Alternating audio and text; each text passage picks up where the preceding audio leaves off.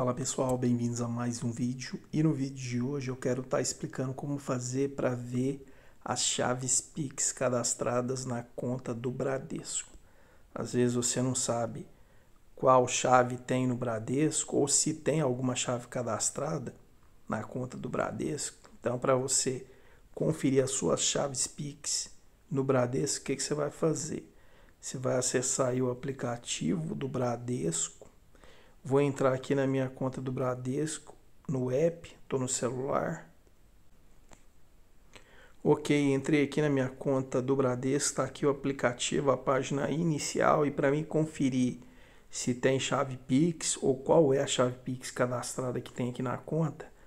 Aqui na página inicial tem a opção Pix, eu vou clicar aqui em Pix. E aí vai estar tá abrindo essa página aqui.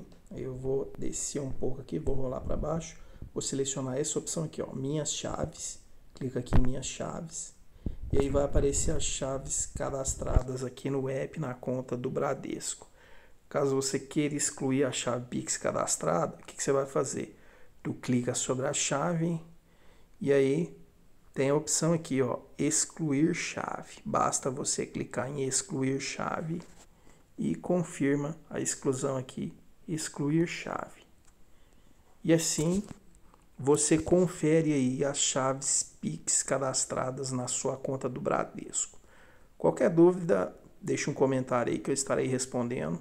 Eu espero que o vídeo tenha ajudado. Se ajudou, deixe um gostei, isso é muito importante, ajuda muito o canal a trazer novos conteúdos. Então é isso, um abraço a todos e até a próxima. Fui.